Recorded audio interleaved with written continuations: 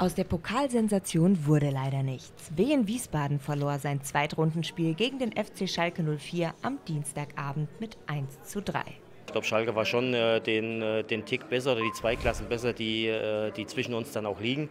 Ähm, nichtsdestotrotz äh, sind wir mit der, der, Leistung der Mannschaft, die sie dann vor allem gegen Ende hingezeigt hat, äh, sehr zufrieden. Und äh, jetzt sagen wir das Spiel ab, ähm, konzentrieren uns ab morgen auf Preußen Münster und hoffen am Sonntag auf ein ähnlich volles Haus mit drei Punkten dann. Dabei hatte alles so gut angefangen. Schon Stunden vor dem Spiel pilgerten die Fans gut gelaunt ins Stadion, um ihren Verein lautstark zu unterstützen. Es herrschte eine friedliche Atmosphäre in der ausverkauften Britta Arena.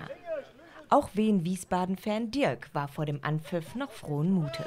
Ich freue mich am meisten, äh, erstmals mal die 5-0 geschlagen haben, die Würzburger, dass wir die drei Punkte mitnehmen, mitgenommen haben dass wir die Kraft mitnehmen, hoffentlich heute, und die Schalker schlagen ganz einfach. Und ähm, ich würde mal ganz frech behaupten, 2-1 für uns. Heute Heimsieg. Rund 12.500 Fans waren gekommen, um die zweite Pokalrunde mitzuerleben. Und natürlich wurde auch unter den Wiesbadener Fans auf eine Sensation gehofft. Auch Dirks Freund Ulrich rechnete mit einem Heimsieg.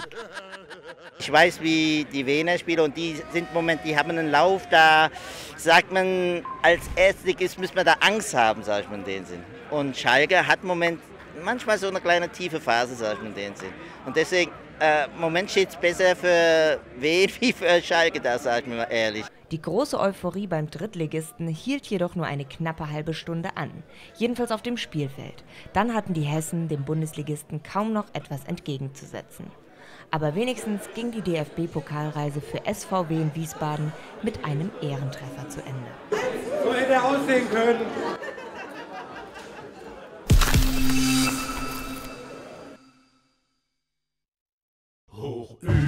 Den Wolken, selbst unten in der Erde, überall ist Sonnenschein. Mit bestem Service und wirklich fairen Preisen werden wir Ihr guter Energieanbieter sein. ESWE. Darauf können Sie sich verlassen. ESWE, komm